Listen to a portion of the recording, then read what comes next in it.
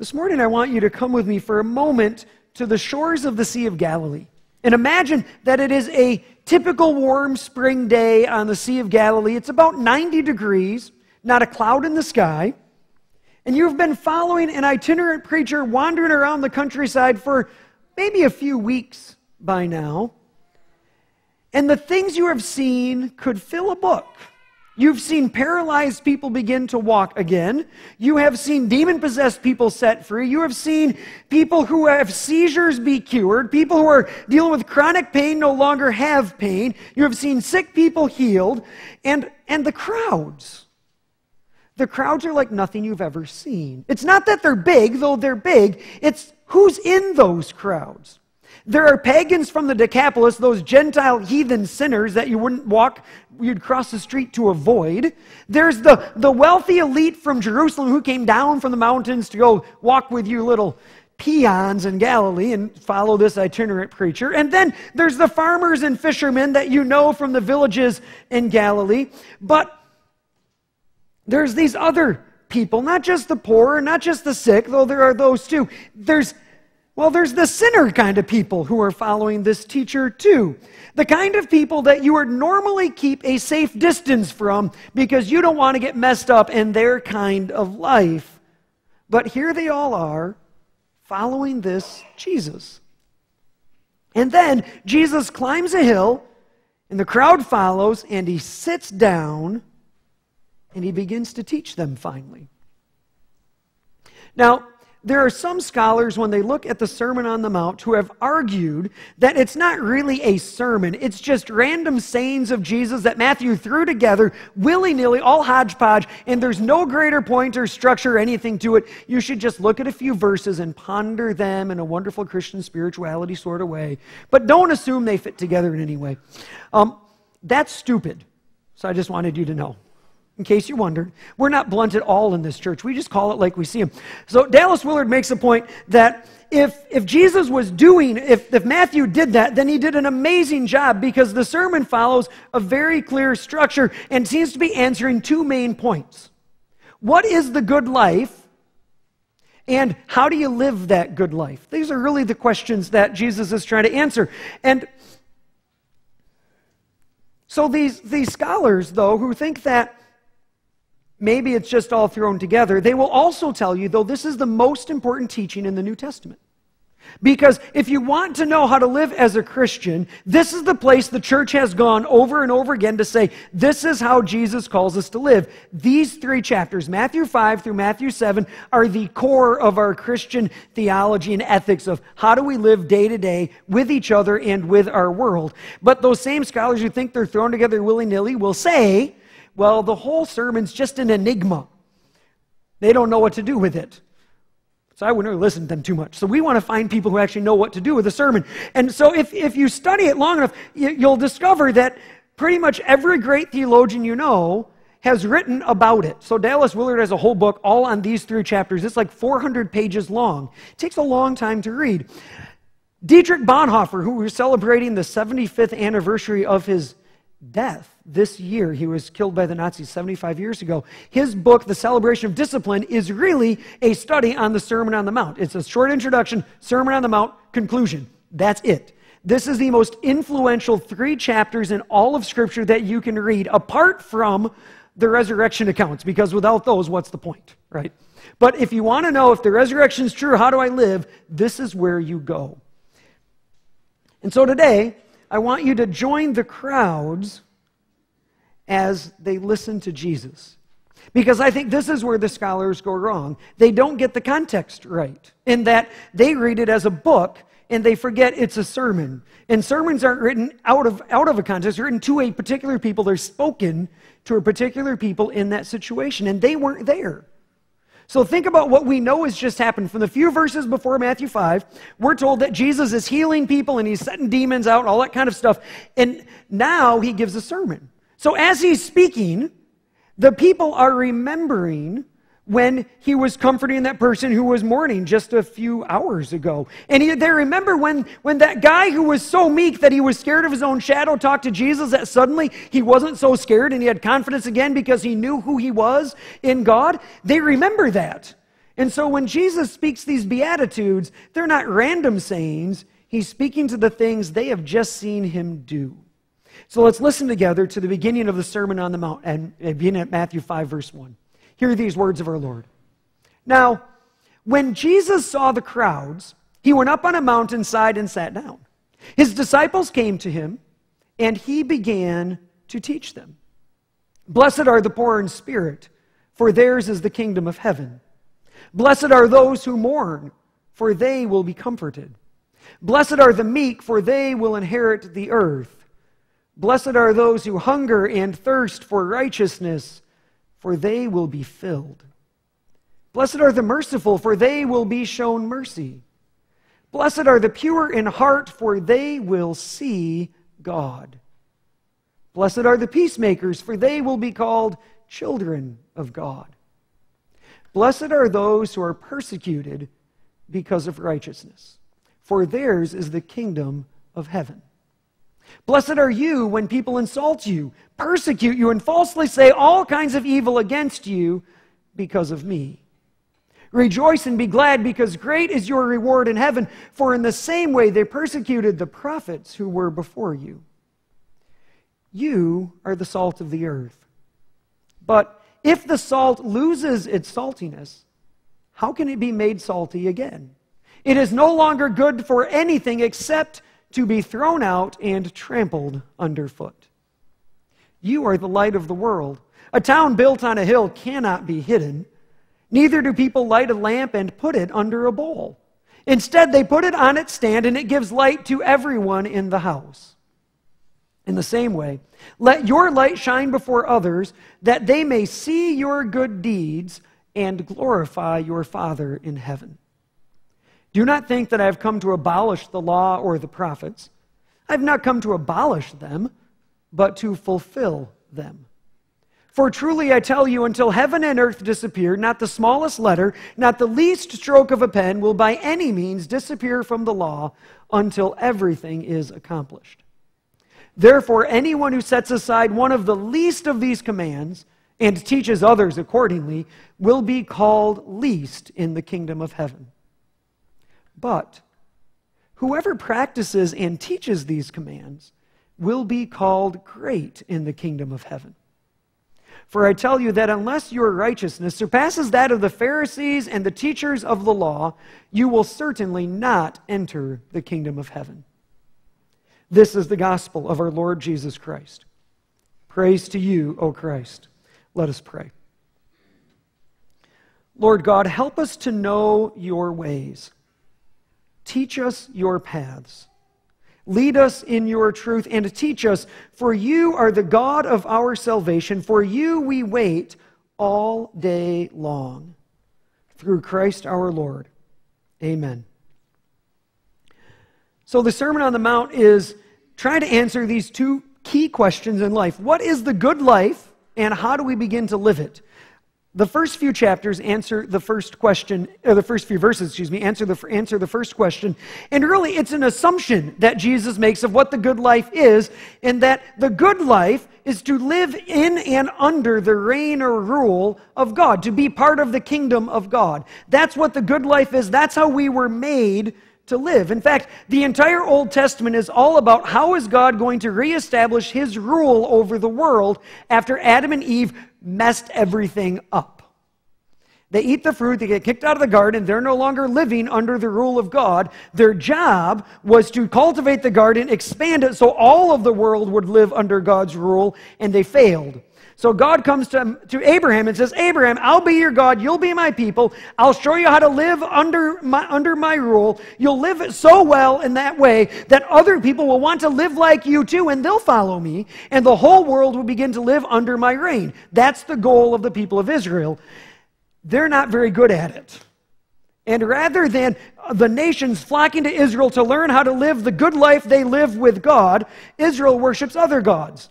And eventually, they get destroyed.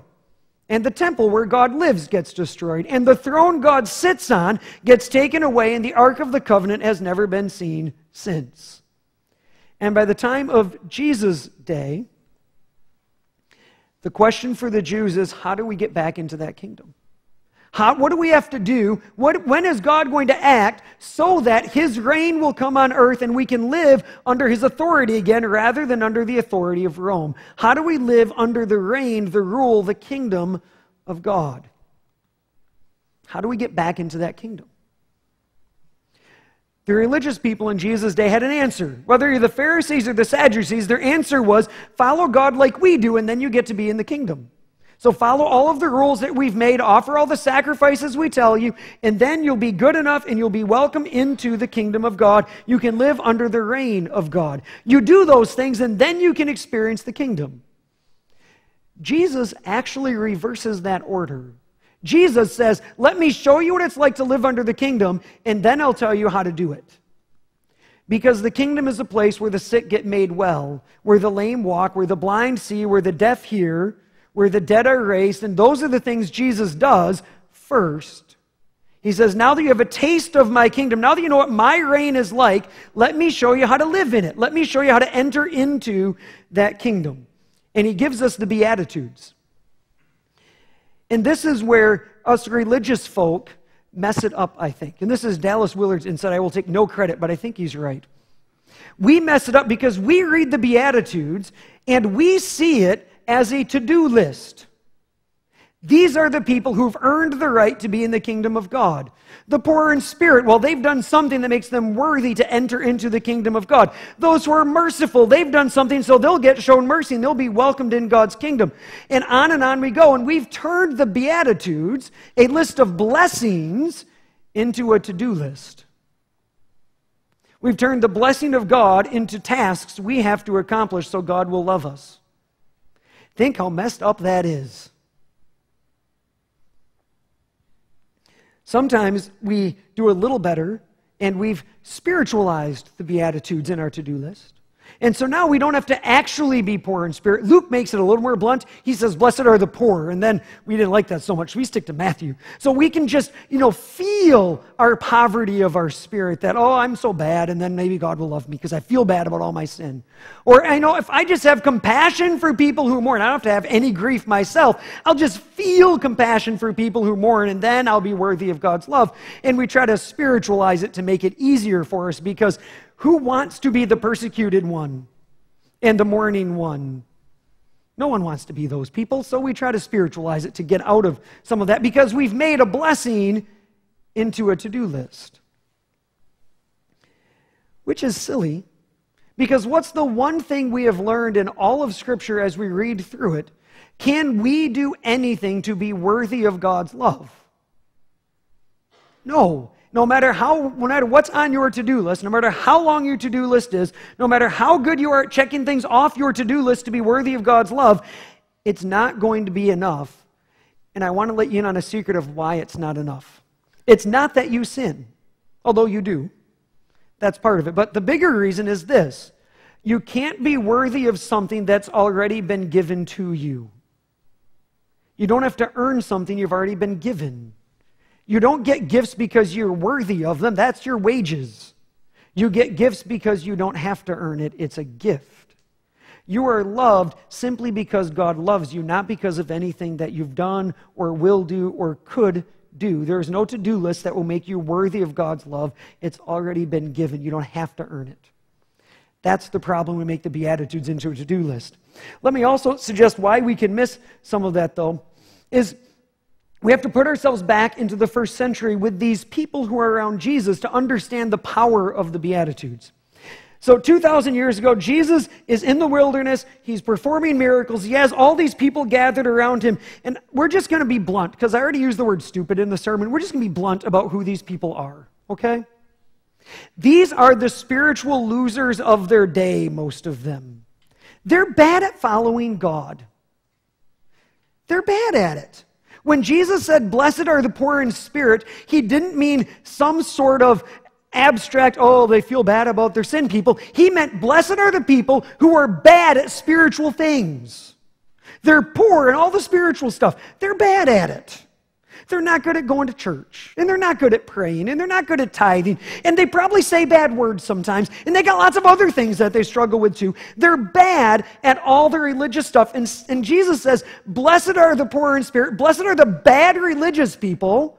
Theirs is the kingdom of God. They're welcome in God's kingdom too. I mean, think about who Jesus hangs out with. He hangs out with tax collectors, which we think of IRS agents, but you have to think more of criminal extortionists and traitors. That's who Jesus hangs out with. That's how the Jews viewed tax collectors in his day. He hangs out with prostitutes. You don't see a lot of church people bragging about their prostitute friends, do you? Just Tony Campolo, he does. But not many of us are bragging about all the prostitutes we hang out with, right? But Jesus hung out with prostitutes. He's hanging out with divorced people who are living in sin, and he doesn't go around telling them they got to get their life in order for to love them. He just loves them anyway.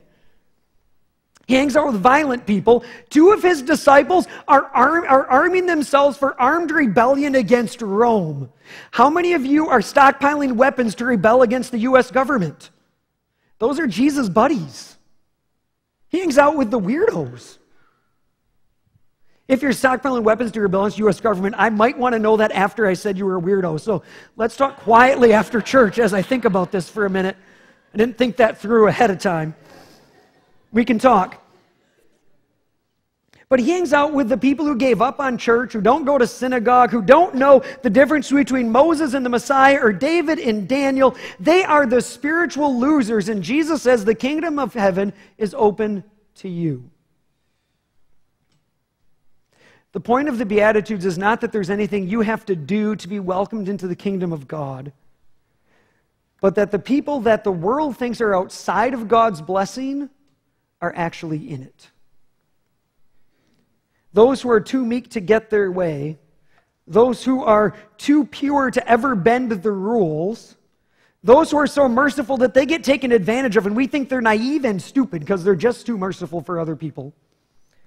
The ones who always get caught in the middle of conflicts because they're trying to find common ground and make peace, and everyone can't stand them because both sides are mad at them. All the people that no one thinks are blessed are the ones God is blessing. They're the ones God's welcoming into his kingdom. But I also want you to notice here, at least in Luke, it's a little different. But in Matthew, in this sermon, Jesus is not saying that religious people can't be a part of the kingdom of God either.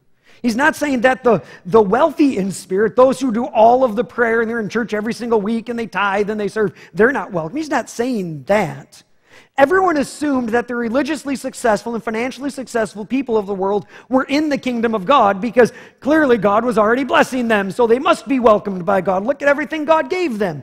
The question was does God care about those losers over there? And Jesus says God cares about the losers and the outcasts and the flakes and the freaks and the people who don't quite fit in. They're welcome too.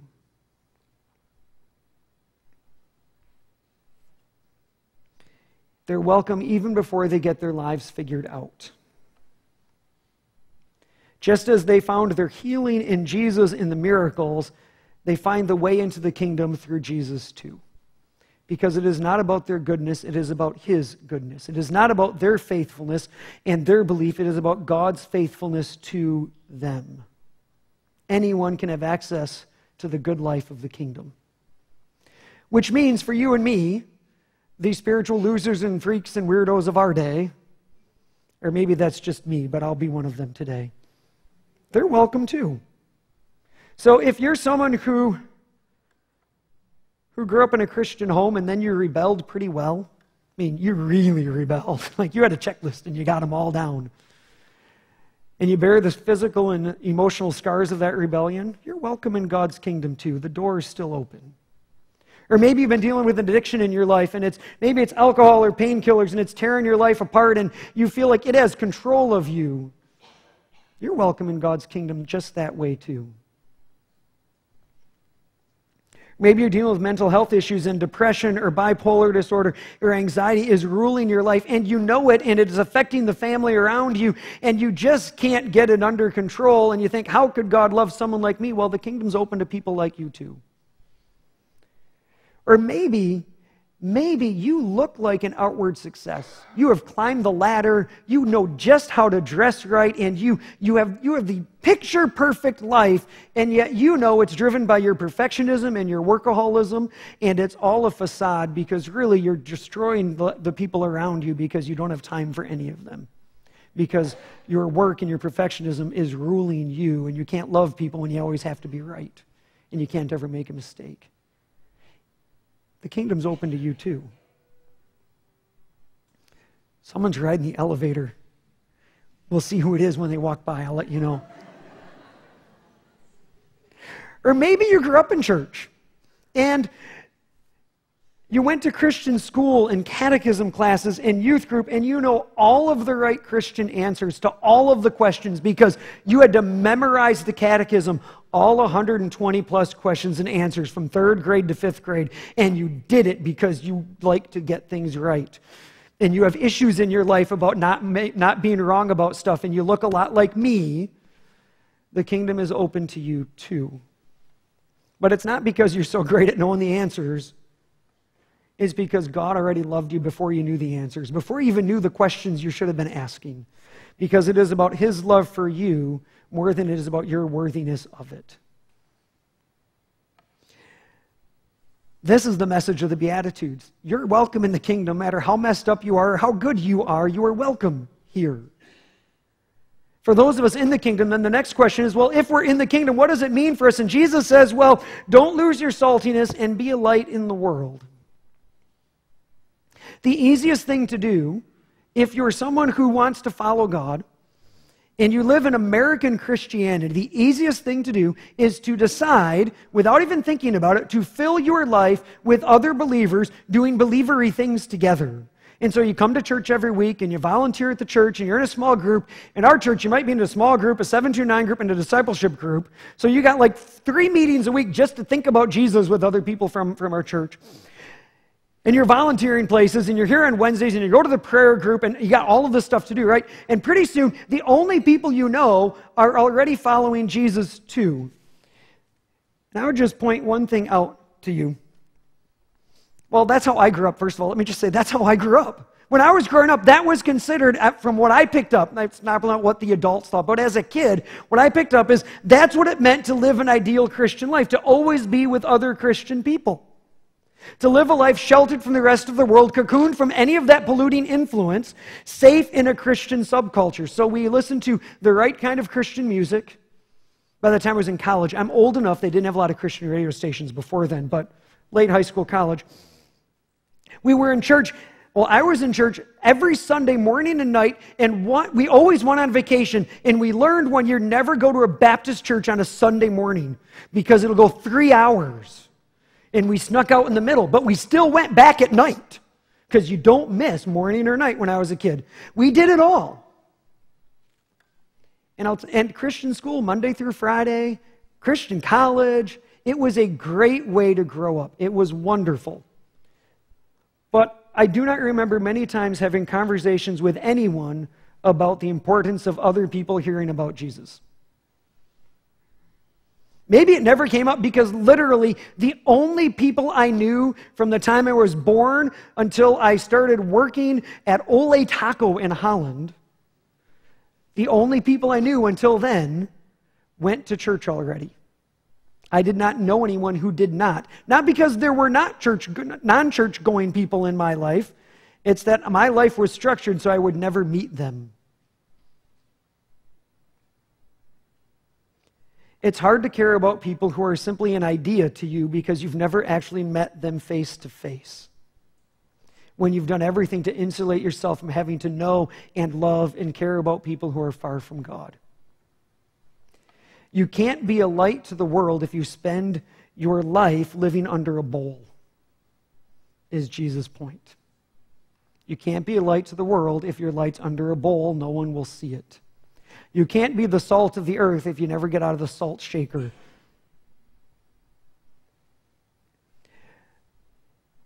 You can be a really good religious person that way, but you cannot be a follower of Jesus.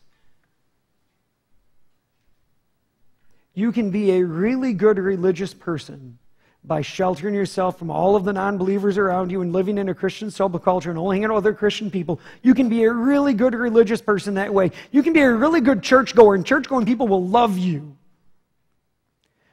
But you are not actually following Jesus when you do that. Because Jesus said to go and make disciples, and you can't make disciples if you don't know anyone isn't already a disciple. You cannot follow Jesus if that's the way you do it by sheltering yourself from everyone in the world who isn't, doesn't already know God. You simply can't do it. We have to be intentional to be the salt in the world. Now, that doesn't mean you should look like the world because then you're not salt anymore. You've lost your saltiness. And so you cannot go in the world saying, I want non church people to think I'm cool and awesome. And you have to be you, a follower of Jesus, loving people who don't yet know Jesus and following the ways of Jesus. That's what we'll talk about in the rest of the Sermon on the Mount. But I will tell you two things will happen if you start living the way Jesus did. If you start living seeking to know and bless and welcome and love people who don't know God. First thing that's going to happen is your compassion for people who are broken will grow. Because when we don't live according to the ways of God, life gets messier. Not because they're any more morally better or worse than us, just if you don't follow the ways of God, you're not living according to the ways God made you to work, and so your life will be messier. And there's more brokenness and hurt, and you'll have more compassion for people who are hurting because you'll love people who are hurting. It will grow your heart to be bigger than it used to be. Second thing that will happen is if you truly try to live that way, you will crave and long for more intentional time with other believers. Not to shelter yourself, but because you need to be reminded why you do this and you need to be inspired for it. You want to be in worship every week and you want to be in a, in a small group or a discipleship group because you'll need spiritual friends who can encourage you and cheer you on because it's hard work. And the sad thing is, you will probably find if you do it well, church people who don't have that same heart for Jesus' mission, who are not following Jesus but love church, won't like you as much. And they will criticize you. And they will be upset with you because you'll be hanging out with people that look a little different than you hang out with now, maybe. Or at least that are living differently. hang out now, and they'll wonder, why do you do that? And you might invite them to church, and church won't be as clean and safe as it used to be. And some people won't like that as much. And they'll get upset with you. And so you'll need people who are on the same mission with you to go, it's worth it to keep going. You'll want that community with one another. That desire will grow in you and it will be worth it for this simple reason that Jesus says at the very end of our passage today. Because it is worth anything for people to see God's glory through you. And if you live on mission for God to reach people who don't know God with the, with the love that God has for them, God's glory will shine and they will be changed. And there is no greater joy you'll ever experience than seeing a life changed because they saw the love and glory of God at work in you. May you believe this gospel and go forth to live in its peace. Amen. Let us pray. Heavenly Father, we confess today that it is easy for all of us to choose to live in a Christian bubble. It is easier to choose to be religious than to follow your Son. It is easier to see your blessings as a to do list than to acknowledge that it is a free gift for us and for those that make us uncomfortable or who we think are living in weird ways and we don't understand, Father, but it is a gift for all. Help us today to accept that gift and to cherish and rejoice in that gift and to share it with others as well. We pray this in your Son's name. Amen.